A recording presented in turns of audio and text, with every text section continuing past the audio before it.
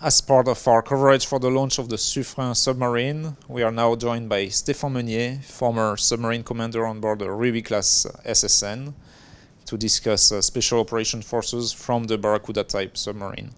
Stéphane, why is the Suffren a great platform to support special operations?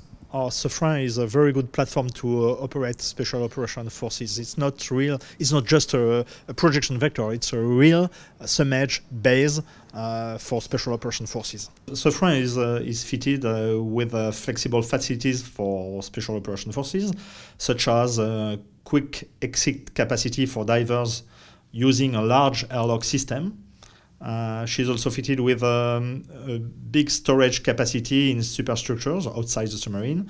Um, there, there is also uh, very comfortable accommodations for, for the SEALs. This is very important because they are staying in, on board during uh, several weeks. Uh, and she's also fitted with a regeneration capacity. Uh, I mean, um, special equipment for maintenance, uh, reloading uh, respiratory blocks, um, reloading uh, batteries of all equipment, and something like that. Um, more in detail, um, Suffren can embark uh, different types of vehicle for SEALs also, uh, such as uh, SDV, that means SEALs Delivery Vehicle. I mean some midget submarines uh, able to uh, to load uh, seals and weapons and something like that. And there is also SEAL also fitted to uh, to embark uh, what we are calling DPV, uh, diver propulsion vehicles, which are various vehicles propulsion system for them. the DDS is dedicated for the storage of this type of vehicle. Uh, and uh, the DDS also offers a massive deployment capacity for special operation forces or UAV at the same time. DDS, that means dry deck shelter.